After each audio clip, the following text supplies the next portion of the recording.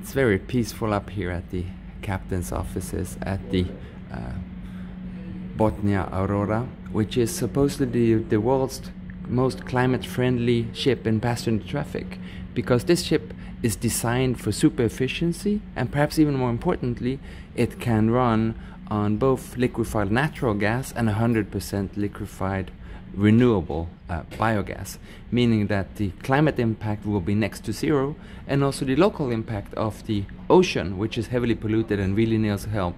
will be next to zero. This ship is the first of its kind, but it's also hopefully showing the way to a even more sustainable traffic on the oceans and seas around the world because it is climate friendly and efficient to use the waterways, but still waterways are mainly fossil. Moving to renewables is part of a more sustainable future. I applaud this initiative.